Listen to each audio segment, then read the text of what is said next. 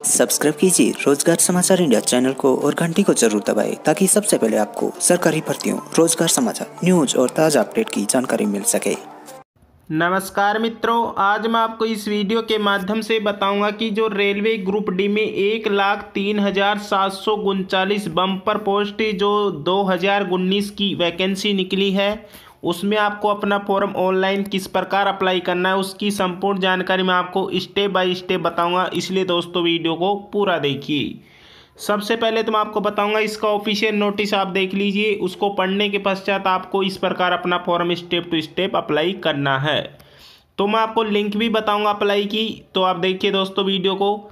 आप देखिए कि जिस प्रकार सबसे पहले आपको इसकी ऑफिशियल साइट पे जाना है। ऑफिशियल साइट आप देख सकते हैं, वो भी मैं आपको डिस्क्रिप्शन बॉक्स में बताऊँगा। तो उस ऑफिशियल साइट पे जाने के पश्चात आपको सबसे पहले यहाँ जो आपको दिखाई दे रहे हैं सेलेक्ट रेलवे योर चॉइस तो आपको अपना चॉइस जिस जगह से आप अपना फॉर्म अप्लाई करना चाहते हैं रेलवे के तो उस जगह को आप सेलेक्ट कर सकते हैं। तो आरआरबी के जो भी यहाँ तो आप यह देखिए, मैं आपके सामने यहाँ north western railway Jaipur select कर रहा हूँ। आपको वो सेलेक्ट करना है जिस जगह से आप अपना फॉर्म अप्लाई करना चाह रहे हैं। फिर आपको कन्फर्म करना है। कन्फर्म करने के पश्चात दोस्तों आपके सामने इस प्रकार का ये निर्देश पढ़ने हैं। ये जो निर्देश पढ़ने के पश्चात दोस्तों यहाँ आपको यहाँ जो दिखाई दे रहा है, यहाँ भली बात ही समझ लिया, यानी कि आपसे जो टर्म्स और कंडीशन है, वो आपने समझ ली है। इसमें ओके कर देना है। ओके करने के पश्चात यहाँ सबमिट बटन दिखाई दे रहा है। इस सबमिट बटन पे आपको क्लिक करना है। जो ही आप सबमिट बटन पे क्लिक करोगे तो आपके सामने इस प्रकार का एक दूसरा नया पेज खुलेगा। तो इसमें यहाँ मांग रहा है आपको अपना नाम। तो यहाँ आपको अपना नाम भर देना है। मैं आपके सामने यह नाम भर रहा हूँ दोस्तों। आपको अपना नाम वही भरना है जो आपकी टेंथ की मार्कशीट में है। फिर यहाँ री एंटर यानी कि आपको अपना नाम दोबारा से करना है। दोबारा से सेलेक्ट कर रहा हूँ। ऐसा करने के पश्चात आपको क्या करना है दोस्तों?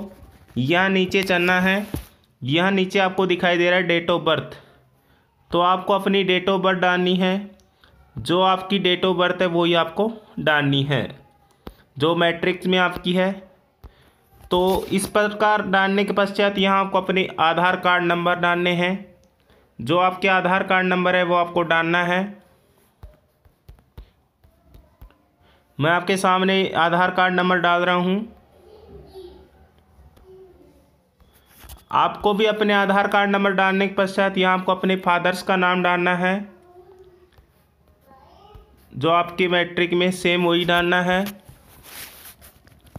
ऐसा डालने के पश्चात आपको क्या करना है दोस्तों? नीचे यहाँ मांग रहा है या अपनी माताजी का नाम। तो माताजी का नाम आपको सेलेक्ट करना है। फिर यहाँ नीचे चलना है दोस्तों, न्यूनतम शैक्षणिक योग्यता। तो आपको क्वालिफ़िकेशन जो आपने आईटीआई है या टेंथ पास जो भी है, वो सिलेक्ट करना है। किस बोर्ड से पास की है? वो बोर्ड आपको यहाँ डालना है। तो यहाँ नीचे आपको टेंथ में रजिस्ट्रेशन संख्या, जो आपको अपन दसवीं में रोल नंबर है, आपकी जो सर्टिफिकेट में रजिस्ट्रेशन संख्या है, वो डालना है आपको। ये डालने के पश्चात दोस्तों आपको क्या करना है? जिस प्रकार मैं यहाँ सेलेक्ट कर रहा हूँ टेंथ की जो मार्कशीट में जो आपके सर्टिफिकेट नंबर है वो डालने के पश्चात यहाँ देखिए दोस्तों, कौन सी सन में आपने पास की? दसवीं कक्षा। तो वो सन आपको डालनी है। फिर आपको अपने मोबाइल नंबर डालने हैं। मोबाइल नंबर डालने के पश्चात दोस्तों, आपको क्या करना है? मोबाइल नंबर को दोबारा से डालना है री करना है। आपको री करने के पश्चात मोबाइल यहाँ को अपनी मेल आईडी डालनी है। मेल आईडी डालने के पश्चात दोस्तों आपको क्या करना है? यहाँ मेल आईडी को दोबारा से री करना है। मोबाइल नंबर मेल आईडी डालने के पश्चात यहाँ आपको यह कैप्चा दिखाई दे रहा है। इस कैप्चा को डालना है। यहाँ देखिए दोस्तों, यहाँ कैपिटल में डी है टी फिर आपको एक्स फिर एस फिर यहाँ जो डिक्लेरेशन यहाँ घोषणा में यहाँ टिक कर देना है, और यहाँ सबमिट बटन को आपको क्लिक कर देना है। क्लिक कर देने के पश्चात दोस्तों आप देख सकते हैं, हम आपको दिखाना चाहेंगे। अगर आप एडिटिंग अभी किसी किस प्रकार की कोई एडिटिंग करना चाहें तो एडिटिंग कर सकते हैं, किसी प्रकार की कोई गड़बड़ी ना हो। फिर आपको क्या करना है, यहाँ एडिटिंग करना चाहें तो यहाँ अगर कन्फर्म करना है तो यहाँ कन्फर्म पे क्लिक कर दीजिएगा। मैं कन्फर्म पे क्लिक कर रहा हूँ। फिर आपको क्या करना है दोस्तों? यू हैव सक्सेसफुली रजिस्टर्ड तो आप भली बात ही इसमें रजिस्टर्ड हो चुके हैं। मैं इसका स्क्रीनशॉट ले लेता हूँ। तो क्या है कि दोस्तों, ये रजिस्ट्रेशन नंबर और आपकी जो डेट ऑफ़ बर्थ है, वो आपका पासवर्ड है। इस पर ओके कर देता हूँ। जो ही आप ओके करोगे तो आपकी मेल आईडी पर और मोबाइल नंबर पे जो ओटीपी गया है तो यहाँ आपको मेल आईडी का ओ टी पी यहाँ आपको अपने मोबाइल नंबर का ओटीपी डालना है, फिर आपको नीचे डालना है कैप्चा। फिर दोस्तों आपको इस प्रकार जो आपकी मेल आईडी पे ओटीपी आया है, वो डालना है। ये डालने के पश्चात जो आपके मोबाइल नंबर दर्ज किए, उन पे ओटीपी आया है वो डालना है। ऐसा डालने के पश्चात नीचे जो आपको कैप्चा दिखाई दे रहा है, वो कैप्चा डालना है। फिर आपको यहाँ जो ऑप्शन दिखाई दे रहा है दोस्तों वैलिडेट तो इस पर आपको क्लिक कर देना है। जो ही दोस्तों आप इस पर क्लिक करोगे तो आपके सामने इस प्रकार का पेज खुलेगा।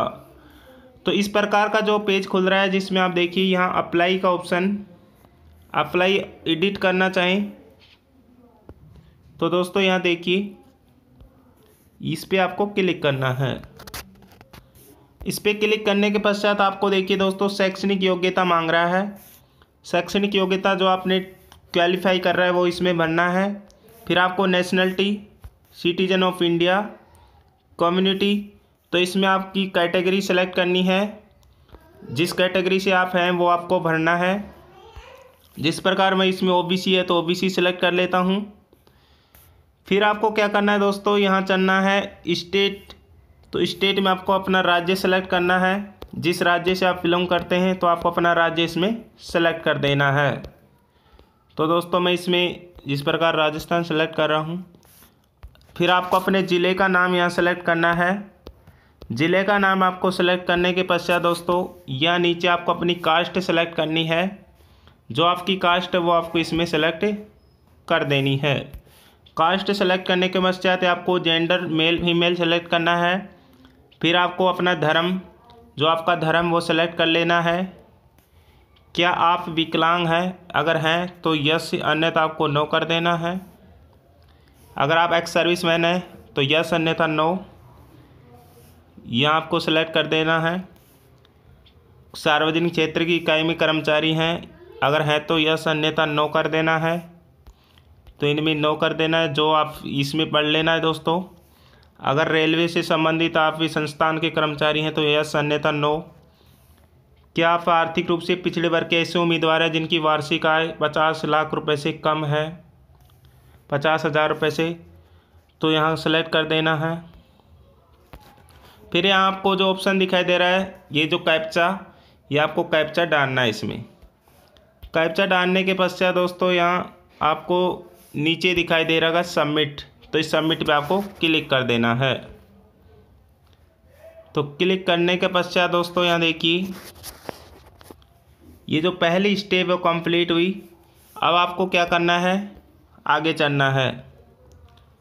यहाँ आपको सेलेक्ट दी जा रही है, यहाँ कौन सी जगह है तो उसमें आपको सेलेक्ट कर लेना है। तो दोस्तों, इस प्रकार का ऑप्शन खुलने के पश्चात आपको क्या करना है? या क्या बोल रहा है कि चुने गए रेलवे के पात्र पदों की जो सूची नीचे दिखाई गई है, उसमें आपको क्रम से सेलेक्ट करना है कि सबसे पहले आपको कौन से जो इसमें रेलवे के जोन है, वो सेलेक्ट कर लेना है सीरियल के अनुसार। जिस प्रकार यहाँ पहला, दूसरा, ऐसा जो भी आपको अच्छा लगे, पहला जो आपको जोन सेलेक्ट करना है, इसमें सेलेक्ट कर सकते हैं। तो जिस प्रकार सेलेक्ट करने के पश्चात यहाँ सीरियल नंबर डालने के पश्चात नीचे चलना है। नीचे जो आपको कैप्चा दिखाई दे रहा है, वो कैप्चा डालना है, फिर आपको सबमिट बटन क्लिक करना है। जो ही आप सबमिट बटन पे क्लिक करोगे तो ये आपको कन्फर्म करना है। कन्फर्म करने के पश्चात दोस्तों, फिर दोस्तों आपको अपने पेमेंट यानी फ़ीस का भुगतान करना है। फ़ीस का सेलेक्ट करना है कि किस प्रकार बैंक से आपसे सेलेक्ट करना है। फिर यहाँ डिक्लेरेशन पे क्लिक करना है। क्लिक टू प्रोसेस इस पर क्लिक करना है। इस पर क्लिक करने के पश्चात आपको यहाँ बहुत सारे ऑप्शन एटीएम कार्ड से या नेट बैंकिंग के माध्यम से जहाँ भी आप अपना जो फ़ीस का भुगतान करना चाह रहे हैं, वो कर सकते हैं। और दोस्तों, आपको अपने फ़ीस का भुगतान करने के पश्चात आपको अपने यहाँ बेसिक सामान्य जानकारी और मांगेगा, वो जानकारी आपको भर देना है।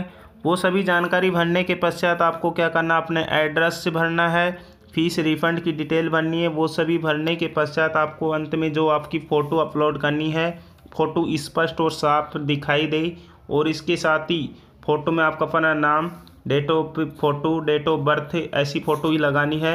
यहाँ आपको ने सिग्नेचर अपलोड करना है। ये सभी करने के पश्चात यहाँ आपको अंत में सबमिट बटन कर देना क्लिक और आपको अपना फॉर्म अप्लाई कर सकते हैं इस प्रकार। तो दोस्तों, किसी प्रकार को